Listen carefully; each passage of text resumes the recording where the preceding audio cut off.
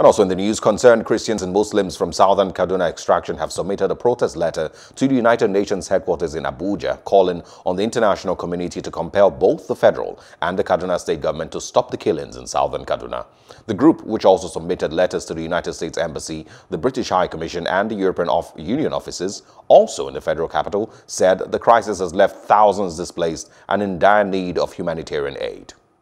We have gathered to come to bring to the attention of the international community the insecurity, the killings, the spate of violence in northern Nigeria in general, and especially in southern Kaduna in particular. We want their intervention uh, to make the state and the federal government act expeditiously to bring these killings to an end. We believe that there can never be peace without justice. So we want to call on the international community to prevail on the state and federal government to bring these killers to justice. We, we know that they are not spirits, they are human beings.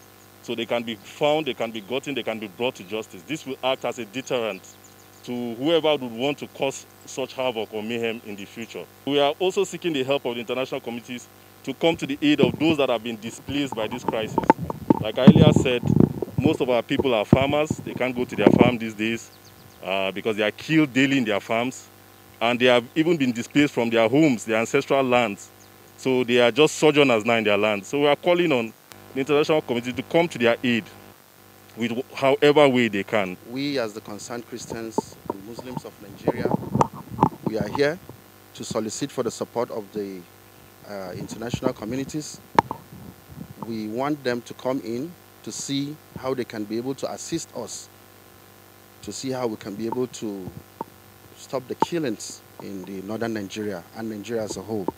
So we solicit, we ask for the support of the United Nations, the international communities, the American government, the British High Commission, the Canadian, and uh, the European Union. So we ask for their support to come in to see how we can be able to stop the killings. The killers are human like us. So if there is any way we can forge ahead and go forward to see how we can be able to tackle this, they should please help us. If the government will take up their responsibility the right way and take the bull by the horn to stop this, it can be stopped. If security is put in place to fight and um, stop the terrorists, this will be stopped. We feel that the government are um, having a lackluster attitude towards the whole killings and our people are killed daily in huge numbers. It's very painful. I'm from southern Kaduna and I'm, I'm, a peace ambassador. I believe in peace if only the right authorities will do the right thing. So we're here to solicit with the international community to come to our aid to get their hands involved in this and solve it once and for all. I will submit this to the resident coordinator, who is the highest ranking official of the United Nations in the country.